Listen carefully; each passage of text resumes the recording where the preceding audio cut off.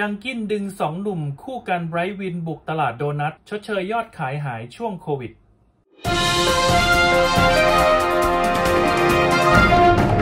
สนับสนุนโดย ซิงเกิลใหม่จากวงเคนายโลกคู่ขนาน หมูยอเกรด A จากแซบซาร่า Happy Healthy ไส้แน่นทุกชิ้น ฟินทุกคำ ดังกิ้นรุกตลาดโดนัทโค้งสุดท้ายปลายปีนะครับ ปลุกแบรนด์ character ผ่าน 2 หนุ่มนักแสดงชายไบรท์วิน ด้วยสินค้าคอลเลคชันพิเศษวางจำหน่ายถึงปลายปีนะครับ ดึงยอดขายครึ่งปีหลังให้เติบโตเพิ่มขึ้น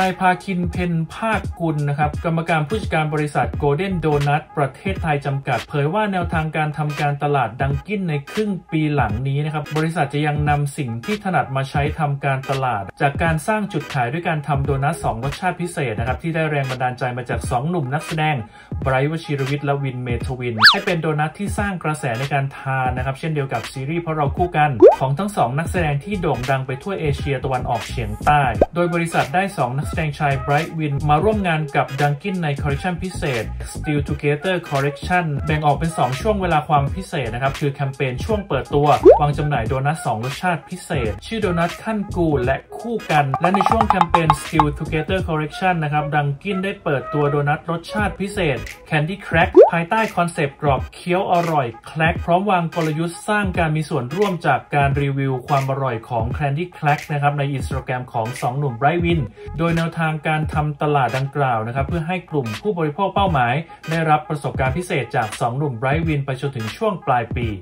โดยนางสาววรีพันธ์ประกอบวรรณกิจ รองประธานบริหารฝ่ายการตลาดบริษัท Golden Donut ประเทศไทยจำกัด เผยว่าการนำสองนักแสดงชายไบรท์และวินนะครับมาร่วมงานในครั้งนี้ เป็นความตั้งใจของบริษัท เพื่อเข้าถึงกลุ่มวัยรุ่นที่เป็นแฟนๆของซีรีส์โดยตรงนะครับ โดยเชื่อว่าแคมเปญนี้จะช่วยจุดประกายให้ดังกินเป็นแบรนด์ที่มีความสดใสอยู่เสมอ และยังมีส่วนกระตุ้นยอดขายในช่วงครึ่งปีหลัง และสามารถชดเชยการเติบโตที่สะดุดในครึ่งปีแรกจากโควิด -19 นะครับ ทั้งนี้บริษัทเชื่อว่าปลายปี